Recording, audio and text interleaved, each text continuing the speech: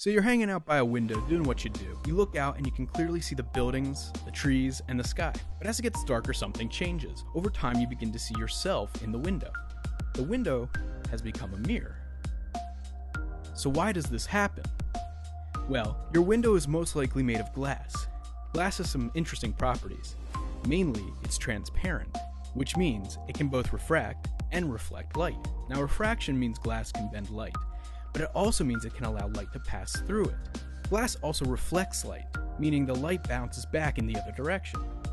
For window glass, it's about 8%. You can see this piece of glass both refracting and reflecting this red laser. So, what's happening when the sun sets and you turn on a light inside? For this, we'll need a couple props. This green guy will represent you and your point of perspective, where you're looking from. And this is your dog. Good dog. Now let's assume you are inside looking out on your dog, and the window is between you two.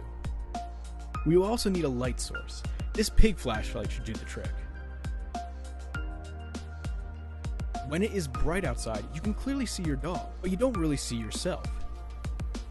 This is because most of the light is coming from outside, refracting or passing through the window. That is the majority of the light your eyes see. When the light source is coming from inside, a lot is passing through outside, but enough, about 8%, is reflecting back into the room, allowing you to see yourself in the window.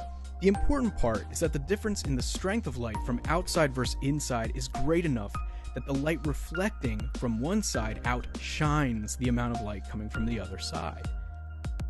Your eyes adjust to the brightest source of light. When the sun is out, the light is coming through the window, and is the brightest. Your eyes adjust to this, and that small amount being reflected back is too dim and is not visible from inside.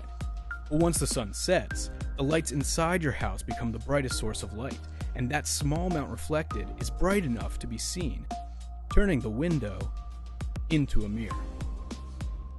I hope this video has been enlightening, and I hope to see you soon. Till next time.